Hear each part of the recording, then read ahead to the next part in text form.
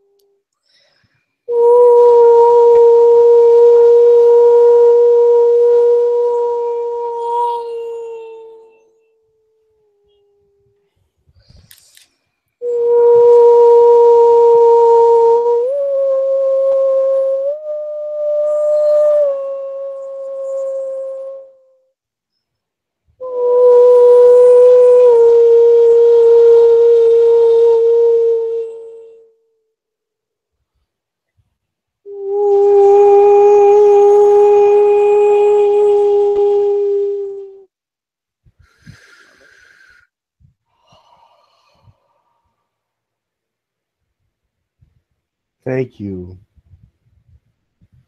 Can't hear you, Sarah. I said before I began, did you have a translation for the toning that she just did? I did, but there it is so multi-layered. Hold on one second. There was they said um, equate yourself with the new energies and make it are equate yourself with the new energies and make it an a life choice to move forward and stay ahead of the thought processes that are slow because the faster thought processes will save your life whatever that means Do you know which beings those were? No i do not I was getting oceanic. oh pat yes it's yes it could be a, a trinary language because there were so many levels to it